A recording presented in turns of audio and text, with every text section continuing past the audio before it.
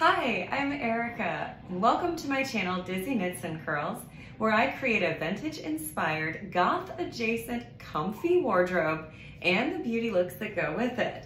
So today I'm going to be talking about the new Pattern Emporium Walk Boldly Wide Leg Pants pattern. I was a tester for this and I made three different versions during testing and I decided to make a fourth version and do a sew along with you guys. So that's what we're gonna be doing today. I will give you a sneak peek of the pants we're making. It's got pockets. So this pattern came with, it's a wide leg pant.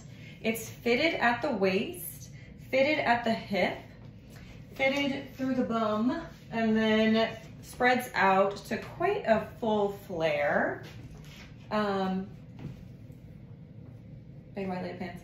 Um, anyway, it has two different rises. So you can make it as a mid-rise or high rise. I did the high rise here. You can put optional elastic in the waist. Um, it has back darts and it also has several different pockets. These are the round jean style pockets.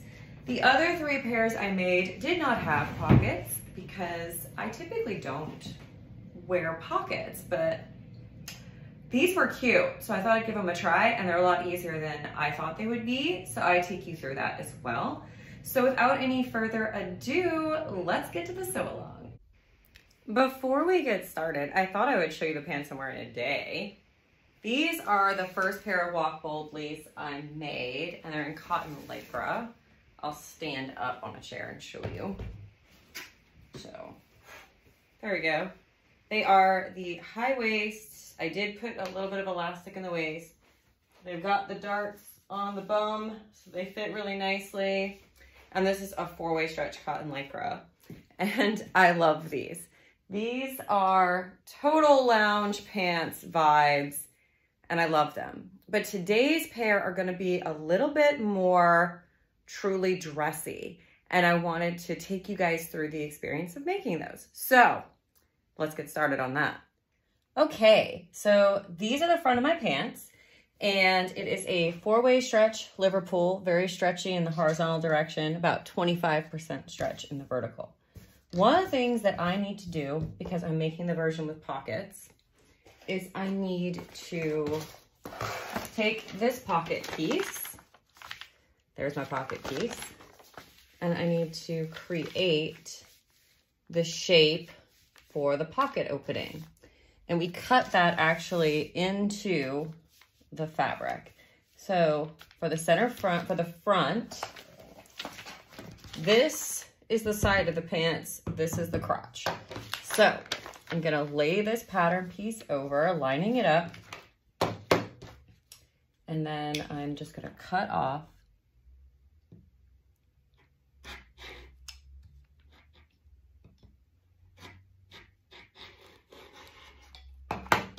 this bit. So now I've prepared the front of my pant for a pocket. All right, so I got my pattern piece down on the wrong side of my pants. And I am going to just put pins in where my dart stops. And I'm gonna mark the top with some chalk.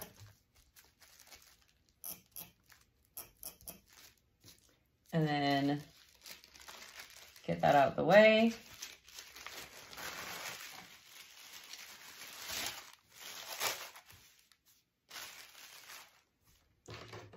And I'm gonna draw my dart fully in with chalk. And that way it's nice and clear when I'm sewing it in. This is a, yellow chalk pen from Madam Sew. I love these little chalk rollers.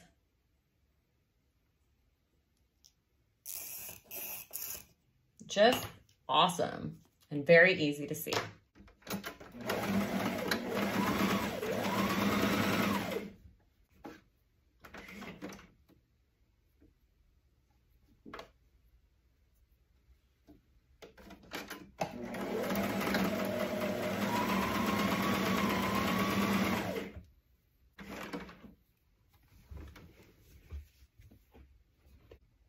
All right, let's take on those pockets. Um, the crotch is over here. The top pocket opening shape is here on the pants front. So I need to grab my pocket pieces. So um, with right sides together, align pocket opening on pocket with pocket opening on the paint. All right, right sides together. I wish I hadn't used such a dark fabric, but here we are. So here's my pocket opening, laying down perfectly with my pants.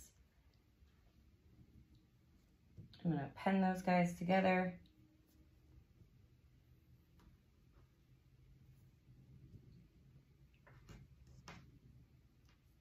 And then I'm gonna go and overlock or straight stitch to join that together. So I'm going to sew that together and then I'll show you the next step. Okay, so the next step is opened it out. Here is the pants, here's the pocket. So we want to stitch the overlocked seam down towards the pocket. Straight stitch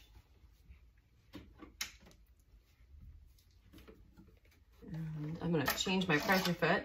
I've got this really handy dandy presser foot that is um, a quilting foot actually that has the seam allowances. You can kind of dial in your seam allowance. And I use that a lot. But for this, I want to just use my regular foot. I'm going to very carefully sew the seam allowance down in an understitch. And my sewing machine is being a little funky. One moment. We're gonna make our stitch a little bigger, like a three. And this will not show outside the pant.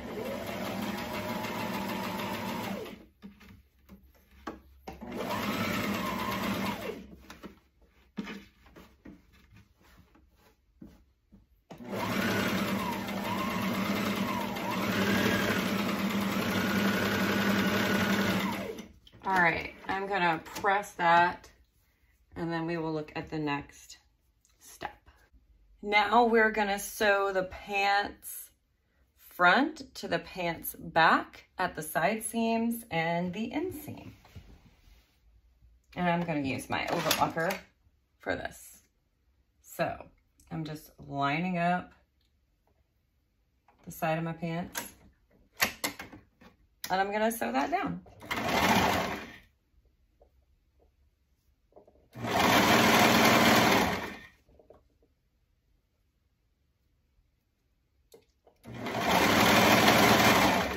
Catching the pocket in the side seam.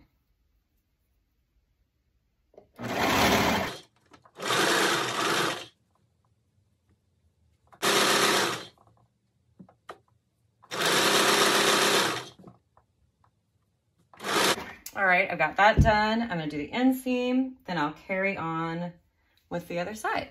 All right, so now I have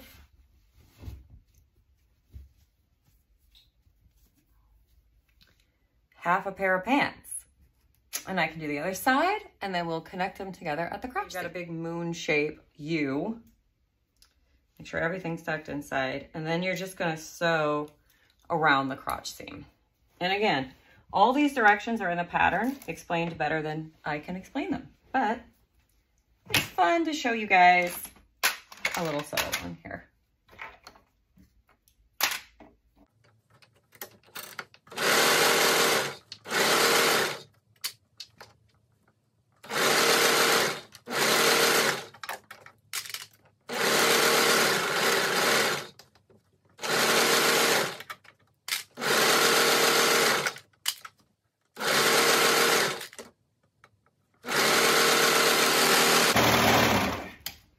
Okay, so now we have pants.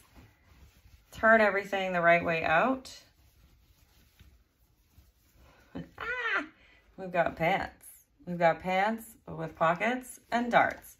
So I am going to sew on my waistband, hem these, and uh, I will show you guys when they're all done. But thank you very much for hanging out with me and sewing today, and I'll see you in a little bit with finished pants.